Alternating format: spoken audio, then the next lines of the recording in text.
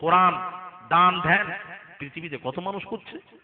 কিন্তু শর্ত ছিল, তুই যে সময় করবি, ওই সময় যেন পৃথিবীতে ওই ইবাদত, ওই ইবাদতটা কেউ না করে। কোরআন থেকে সমস্যার সমাধান দেন, কোরআন হাদিস থেকে। বাইরে আমার এইরকম সমস্যার সমাধান ইমামরা ফাকিগণ করেছেন। ফাকিগণ, এই সমস্যার সমাধান ফাকিগণ করেছেন। ইমামে আজম আবু হানিফার কাছে প্রশ্ন গেল, ইমামে আজম আবু হানিফা তীক্ষ্ণ বুদ্ধি? দেখুন, ইমামে আজম আবু হানিফা হুজুর বললেন, এক কাজ করো, এক কাজ করো, তুমি চলে যাও মহিলা, চিন্তা করো না, ঘাবড়ানোর কোনো চিন্তা করো না, কোনো চিন্তা করবে না, তুমি এক কাজ করো, চলে যাও মক্কায়, চলে যাও, মক্কায় চলে যাও, কাবার যারা তফ করছে, কাবার তওয়াফ করছে, তাদেরকে একটু তওয়াফ বন্ধ করে, করতে বলবে, তাকে একটু বন্ধ করতে বল, বলো। নামাজের সময় তো বন্ধ থাকে। ওই রকম তাদেরকে বলো, ভাই, একটু এই ব্যাপার, একটু তো বন্ধ করেন। সবকে তফ থেকে একটু রুকে দিয়ে তুমি একবার কাবা তফটা করে নেবে। তুমি কাবা তফটা করে নেবে। পৃথিবীতে দ্বিতীয় কাবা কোথাও নেই। শর্ত ছিল কি? এমন একটা ইবাদত করবি, ওই ইবাদতটা পৃথিবীতে কেউ না করে। এই জন্য বাবা কাবা তফটা পৃথিবীতে কোথাও হচ্ছে নাকি? কথা বলো না বাবা, মাথা কোথাও নেই। একটাই খাওয়া। আর তোয়াফ এক জায়গায় হয়। এই জন্য বাবা, আমি হাজি সাহেবদান হাজি সাহেবানদেরকে আমি বলে থাকি, ও হাজি সাহেবান, অনেক হাজি সাহেব হজ করতে যান, হজ করতে যান। ওখানে গিয়ে বাবাজি বেশি বেশি আউয়াবিন পড়েন, চাষ পড়েন, ইশরাক পড়েন। আমি বলব, হাজি সাহেব, ও হাজি সাহেব, শুনুন। আবিন চাষ ইসলাম তাহাজুদ পড়তেই আছেন পড়তেই আছেন। আমি বলে থাকি, ও হাজি সাহেব, যদি কেউ আল্লাহ যদি কাউকে তফিক দেন হজে যাওয়ার, আমি আলী আসগার বলে গেলাম, শুনুন। আল্লাহ যদি কখনো কাপ মক্কায় যাওয়া তৌফিক দেন হজের যাওয়া তৌফিক দেন, শুনুন, ওখানে তাহাজুদ বেশি পড়বেন না। আউয়াবিন চাষ ইসরাক পড়বেন না। বাবাজিদ আউয়াবিন চাষ ইসরাক তো আপনি বাড়িতে এসে পড়তে পারবেন। আপনি আপনার বাড়িতে ফিরে এসে পড়তে পারবেন। ওখানে আউয়াবিন চাষ ইসলাম তাহাজুদ বেশি না পড়ে ওখানে একটা আমল বেশি করে করবেন, একটা ইবাদত বেশি করে করবেন, সেটা হলো কাবার তপ বেশি বেশি করে করবেন। তার কারণ আপনি বাড়িতে এসে তাহাজুদ পড়তে পারবেন, আপনি বাড়ি ফিরে আউয়াবিন চাষ ইসলাম করতে পারবেন। কিন্তু আপনি বাড়িতে এসে পৃথিবীর বাড়ি- বাড়িতে এসে বাবাজি, গন্তব্যস্থানে ফিরে এসে আপনি তপ করতে পারবেন না। তপ একমাত্র মক্কায় হয়, কাবার তপ হয়। ওই জন্য যখন হজ পাকে যাবেন হাজি সাহেবাদ, বেশি বেশি বাবা নফল নামাজ ছেড়ে বেশি বেশি কাবার তপ করবেন। আমি তাদেরকে ট্রেনিং দিয়ে ভাবে কথা ঠিক কিনা জোরে বলুন? বেশি বেশি কাবার তপ ওটা পাবেন না তো? ওটা বেশি বেশি করুন।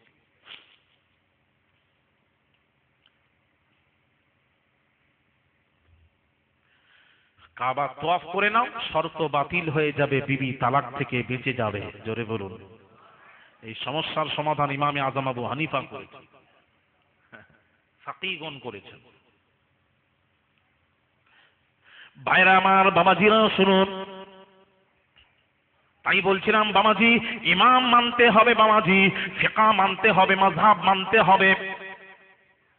সাবি মানতে হবে, ইমাম মানতে হবে। কেয়াস মানতে হবে। আমাদের দলিল তাদের দলিল হলো কোরআন ও হাদিস, আর আহলে সুন্নাতল জামাতের দলিল হলো চারটা। কোরআন ও হাদিস, ইজমা, কেয়াস, এই চারটা হলো শরীয়তের দলিল। এক শ্রেণির বলে বেড়াচ্ছেন, কেয়াস মানে অনুমান অনুমান শরীয়তে নেই শরীয়তে নেই। এরা পীরের আবিষ্কার করেছে, শরীয়তে অনুমান বলতে কিছুই নেই। অনুমান অনুমান, টনুমান, এসব কি? এগুলি এদের নিজেদের আবিষ্কার করা। অনুমান বলতে কিছুই নেই। তাহলে আমাকে বুঝিয়ে যান, অনুমান যদি না থাকে, আসুন আমি জানতে চাই। তাহলে একটা সমস্যা দেখা দিয়েছে, সমস্যার সমাধান চাই আমি।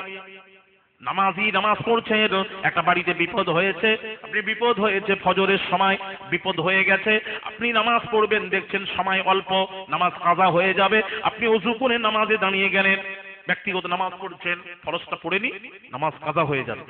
ফজর পড়তে গিয়ে, ফরজ পড়তে গিয়ে দুই রাকাত ফজরের নামাজ। ফরজ দুই রাকাত। নিয়ত করেছেন, নিয়ত করে এক রাকাতের রুকু করেছেন, এক রাকাতের সাজদায় গেছেন, এক রাকাতের সাজদায় গিয়ে, প্রথম রাকাতের সাজদায় গিয়ে এবার ভুলে গেছেন। বিপদ হয়েছে তো অন্য মনস্ক অন্য মনস্ক হয়ে ভুলে গেছে এটা এক না দুই, বসবো না দাঁড়াবো, বসবো না দাঁড়াবো এই রকম নামাজে নামাজিদের হয় না।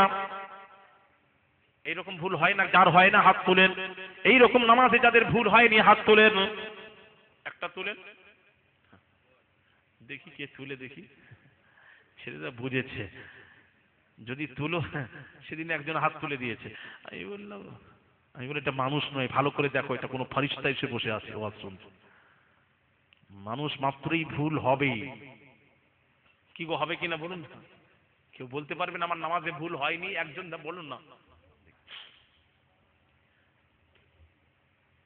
আমি আগে ভাবতাম কি জানেন? ছোটবেলায় ভাবতাম কাবার ইমাম যিনি। যিনি তাম পৃথিবীর মুসলমানদের ইমাম। কাবার ইমাম মানে পৃথিবীর মুসলমানের ইমাম তিনি। সবচেয়ে কাবার মূল ইমাম, এর নাম হলো আব্দুর রহমান সুদাইস ইনি মূল ইমাম। আমি দু হাজার সালের কথা বলছি তার।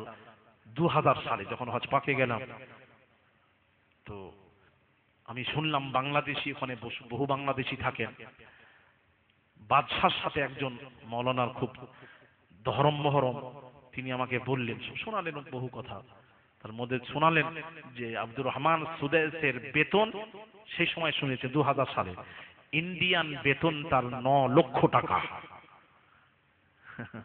কি বলে?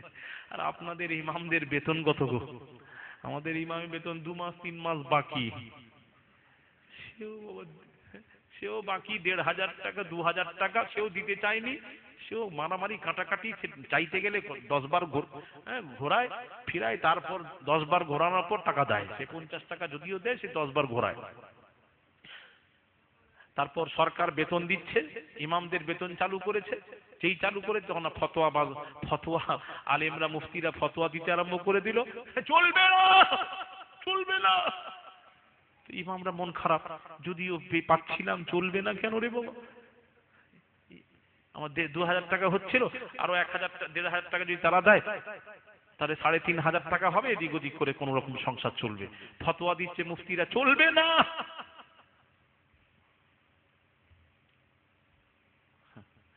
চলবে না, ফতোয়া দিচ্ছে। শুনেন একটা কথা বলি, ভালো করে শুনুন। ফতোয়া দিচ্ছে, ওটা কোন টাকা দিচ্ছি? দিচ্ছে চলবে না। তাহলে চলবে না, মেনে নিলাম আমি কিছুক্ষণ। তাহলে এতদিন যে এতদিন যে সরকার হাজিদেরকে হজে নিয়ে গেল ভর্তুকি দিয়ে, তখন কেউ মলবি মুফতি সাহেব বললেন না যে ভর্তুকি কেন দেবে? সরকারের ভর্তুকি নিয়ে হজে যাব কেন? ওটা কোন পয়সা? এ প্রশ্ন কখনো তোলেননি। দমে হজ করেছে। আর ঠিক বেতন, ইমামের বেতন বাড়ানোর সময় চলবে না চলবে না কত ইমাম সাহেবরা চিন্তা করল, চলবে না যখন, তাহলে আমাদেরকে ওইভাবে চলতে হবে। চালাতে হবে ওইভাবে। ওই এক জায়গায় ইমাম সাহেবের বেতন ছিল কত জানেন? ষাট টাকা। দশ টাকা মুতোয়াল্লি নিয়ে নিত পঞ্চাশ টাকা হাতে পেত বেচারা সে বলছে, ভাই, বেতন বেড়ান, বাড়ান। এক বছর ইমামতি করে হ্যাঁ তিন বছর ইমামতি করেছে, দুই বছর বেতন বাড়ানোর কথা বলেছে বাড়াইনি একদিন জুম্মার নামাজ পড়ি ইমাম সাহেব বললেন, জরুরি ভাষণ আপনারা বসে যাবেন। সব জনগণ বসে গেল, নামাজি মুসল্লিরা বসে আছেন, কি বলবেন? ইমাম সাহেব বলছেন, জরুরি ঘোষণা, দুই বছর আমি যে নামাজে ইমামতি করেছি, অজু ছাড়াই নামাজ পড়িয়েছি। আমি চললাম, আপনারা সব নামাজ ঘুরিয়ে পড়ে নেবেন। আসসালামু আলাইকুম রহমতুল্লাহ। যত মুক্তাদি সব খেপে গেল। ইমাম সাহেব, দুই বছরের নামাজ ঘোরানো সম্ভব নাকি? আপনি কেন ঘোরালেন?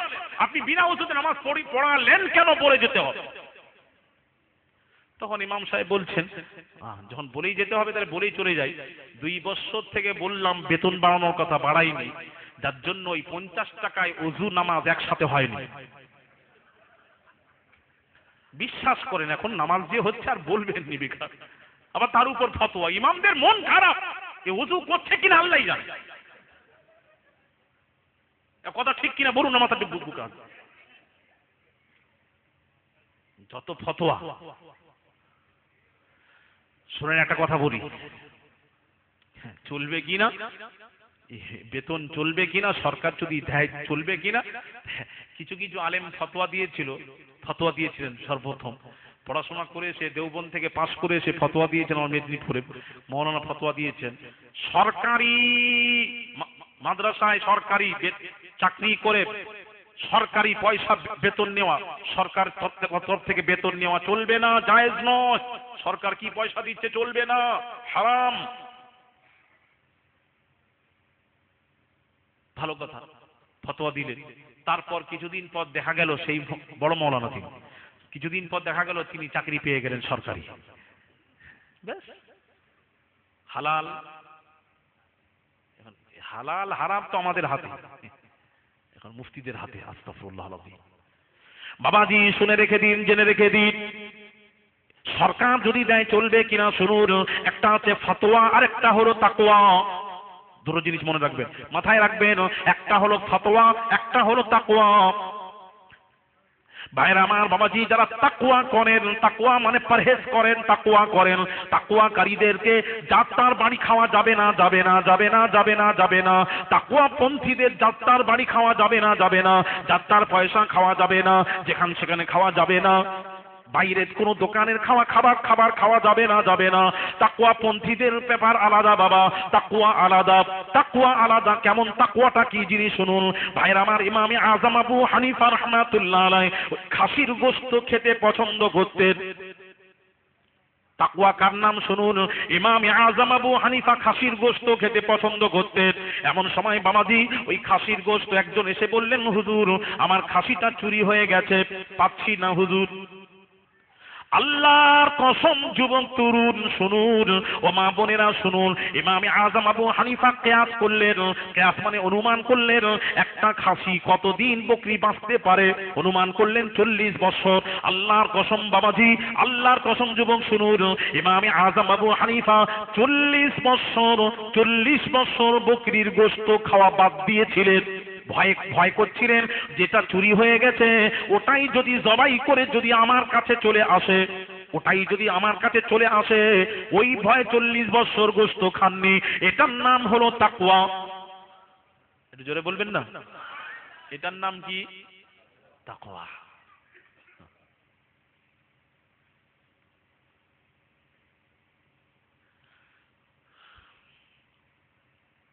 ভাইরা আমার বাবাজিরা, শুনুন তাকুয়া কান্নাম কাইয়ুমুজ্জামান ফুরফুরা শরীফের মারহুম বড় হুজুর পীর কিবলা, নব্বরাল্লাহু মারকাদা আল্লাহ তার কবরকে নূর দিয়ে ভরে দিন, জোরে বলুন, আমিন। কাইয়ুমুজ্জামান ফুরফুরা শরীফের মারহুম বড় হুজুর পীর কিবলা, কুলুক নিয়েছেন, বাবা পেশাব করে ঢেলা নিয়েছেন, কুলুক নিয়েছেন। নিয়ে চলতে চলতে গিয়ে সামনে গিয়ে কুলুকটা ফেলে দিয়েছেন। ফে- ফেলে দিয়ে গরু গাড়িতে যাচ্ছেন। চলে গেছেন কিছুটা ছুটে এসে। ভয় হলো খোদা। কেমতের দিন যদি জিজ্ঞেস করে আল্লাহ তালা আব্দুল হাই অমুক জায়গার মাটি তুলে অমুক জায়গায় রাখলে, সেই মাটি যদি আল্লাহকে জিজ্ঞেস বলে, আমি আব্দুল হাই কি জবাব দেব? যার জন্য ছুটে এসে মাটিটাকে তুলে যেখানে ফেলেছিলেন, ওখান থেকে তুলে নিয়ে যেখানকার মাটি সেখানেই রেখে দিলেন। জোরে বলুন। এটার নাম হলো তাকুয়া ভাইরা আমার তাকুয়া কার নাম শুনুন?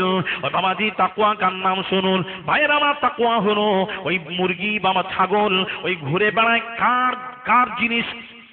ঘুরে যখন বেড়ায়, যেখানে সেখানে যায় তার জিনিস খায় খায় না? এক কথা বলেন না, মুরগি টুরগি ছাগল ঘুরে থাকলে খায় না? খায়। তাকুয়া হলো ওই মুরগি, যে মুরগিটা আপনার বাড়ি থেকে বেরিয়ে অন্য জায়গার খাবার খায়, ওই মুরগি খাওয়া চলবে না, এটা হলো তাকুয়া ভাইরা আমার যারা তাকুয়া করেন, তাদের জন্য সরকার যে পয়সা দায় নেওয়া যাবে না। তাদের জন্য। কিন্তু ফতোয়া অনুযায়ী নেওয়া চলবে, ফতোয়া আলাদা। ফতোয়া অনুযায়ী চলবে তাকুয়া অনুযায়ী যারা তাকুয়া করেন, পরহেজ করেন, তাদের জন্য চলবে না। ফতোয়া চলবে, ফতোয়ায় জায়েজ আছে, কিন্তু তাকুয়ায় চলবে না। এখনও বুঝতে পারলেন নি? তো সুতরাং কি বলব আপনাদেরকে? একটু ইমামদের বেতনটা বাড়িয়ে দেবেন। শোনা, বহু আমরা করছি, আপনারা চিন্তা করে এখন কি বাজার? বাজারে গেলে কম করে দু পাঁচ, পাঁচশো টাকার নিচে কোনো বাজার হবে না। বেতনটা বাড়িয়ে দেবে, তারা খুশি হবে, সেইভাবে নামাজ পড়াবে। মন ভালো লাগবে। আব্দুর রহমান সুধের, সুধাইসের বেতন কত বললাম? ন লক্ষ টাকা, সব খাওয়া দাওয়া বাদে, ও তো বাদশার তরফ থেকে। এখন কত হয়েছে আল্লাহ জানে। দু হাজার সালে, এখন দু হাজার তেরো। বাদশা কি ফ্যাসিলিটি দিয়েছে? গাড়ি দিয়েছে, বাড়ি দিয়েছে। খালি গাড়ি বাড়ি নয় প্লেনে যেখানে যাবে বাদশার তরফ থেকে সব ফ্রি ব্যবস্থা। জোরে বলুন। ইমাম হো তো এসাই হোক, এরকম করে রাখা দরকার ইমামকে। আমরা ইমামকে গোলাম করে রেখেছি ইমামকে গোলামতি গোলাম ভেবে রেখেছে। কথা ঠিক কিনা জোরে বলুন বাইরে আমার যে কথা বোঝাচ্ছিলাম আব্দুর রহমান সুদেশ আমি মনে করতাম মূল ইমাম। আব্দুর রহমান সুদেশ নামাজ পড়ান জীবনে ওনার কোরআন কখনো ভুলেননি কোরআনে লাগেনি মনে করতাম আগে। তারপর যখন হজ পাকে গেলাম গিয়ে দেখলাম আব্দুর রহমান সুদেশ কোরআন পড়তে পড়তে মুসাফা লেগে যায় সেও ভুলে যায়। আমি মদিনা শরীফ মসজিদুল নবাবিতে ইমামকে দেখেছি, সেও ভুলে গেছেন, আবার ঘুরিয়েছেন। আমরা তো হাফিজে কোরআন বুঝি, আবার ঘোরাচ্ছেন আবার ঘোরাচ্ছেন। তখন বুঝলাম রে বাবা, মানুষ মাত্রই ভুল হয়। ভুল হয় না কার? ফারিস্তা মানুষ মাত্রই ভুল আছে। বাইরে আমার নামাজে আপনি সাজিদায় গেলেন, সাজিদায় গিয়ে আপনি মনে পড়ল, এটা এক না দুই বসবেন না দাঁড়াবেন, এক না দুই বসবেন না দাঁড়াবেন এই রকম হয় কিনা নামাজে জোরে বলুন। হয়তো তখন কি করেন, এটা বলেন, এই সমস্যার সমাধানটা বলুন, তখন কি করব? আরে সাজদায় তো পড়ে আছেন সহজ কখন করবে? বুঝলাম আপনি তো সাজদায় আছেন সহজ সাজদাটা কখন করবে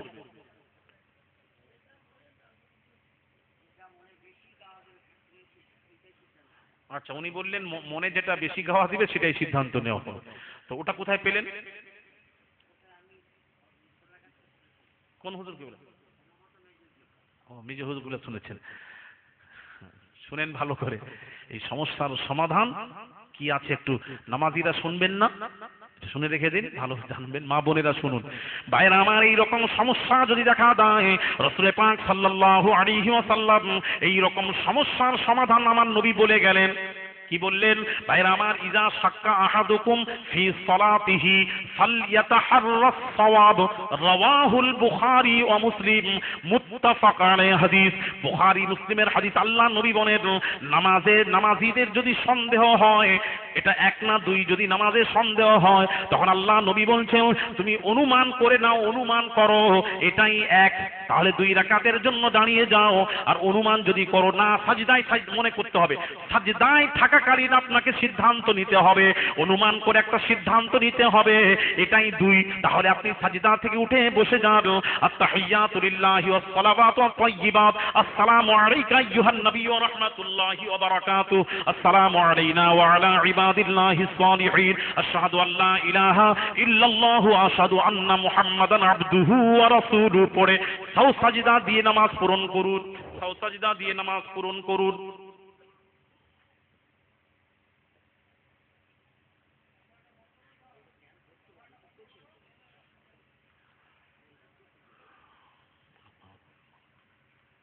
মানা করেনি ইলিয়াস ভাই তুলবেন নি, দয়া করে।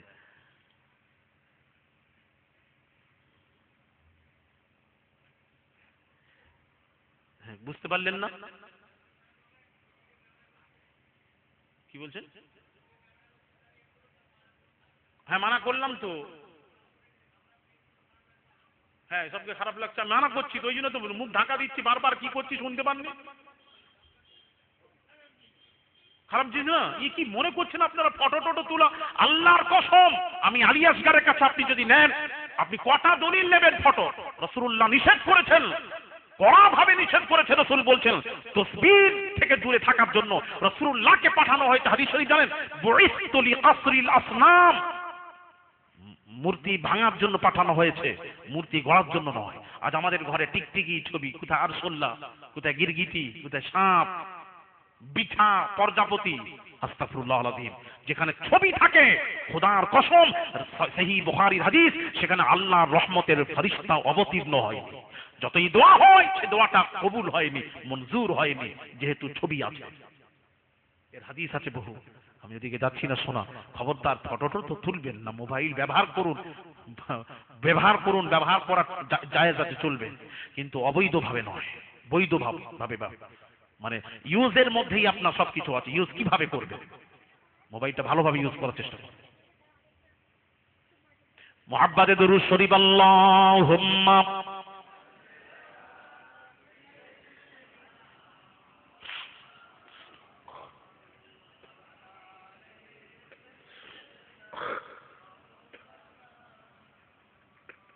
اللهم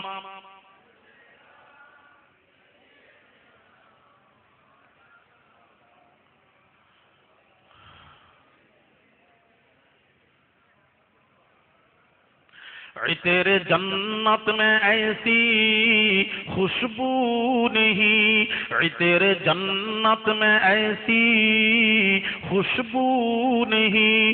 جو خوشبو نبی کے پسینے میں ہے۔ اللہم صلی علی